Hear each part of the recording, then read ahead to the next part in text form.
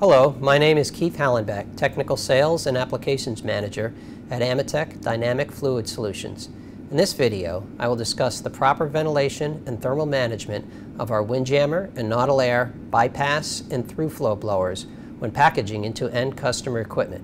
A bypass blower design is easily identified by the steel motor enclosure which has various slotted cooling patterns and the motor connection is located on this metal enclosure. A through-flow blower design does not have a steel motor enclosure and the power connection is made through the die-cast aluminum blower housing.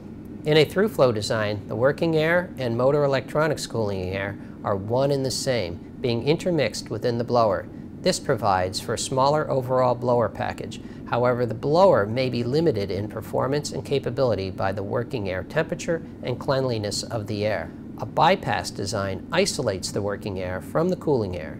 The separation of the working air versus cooling air in a bypass configuration is critical to the thermal management of the motor and electronics drive of the blower assembly and has the benefits of 1 the working air is not heated by the motor and electronics internally generated heat. Two, the working ambient air therefore can operate at a higher temperature as the motor and electronics is cooled from an isolated source.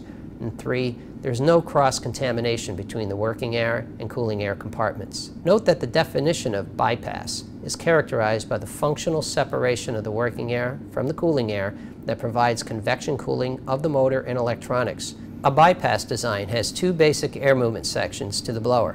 One, the working air, meaning the functional purpose of the blower, and two, the motor and electronics compartment that requires clean, breathing quality air circulation for proper thermal management of the blower. When designing the blower into an end application equipment, it is critical not to recirculate the working air and cooling air that could result in overheating of the motor and electronics compartment. Ideally, each section would have its own dedicated inlet and outlet associated with the working air and the cooling air.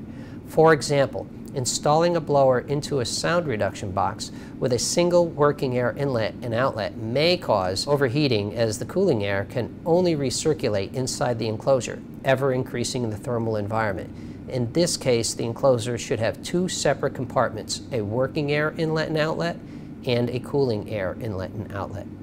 Another example is mounting the blower without an enclosure in an end-use application. Tubing or hoses attached to the working air inlet and outlet allow the cooling air section to freely breathe the surrounding ambient air up to 50 degrees C. If you have any questions concerning the proper installation of our blowers, please contact us at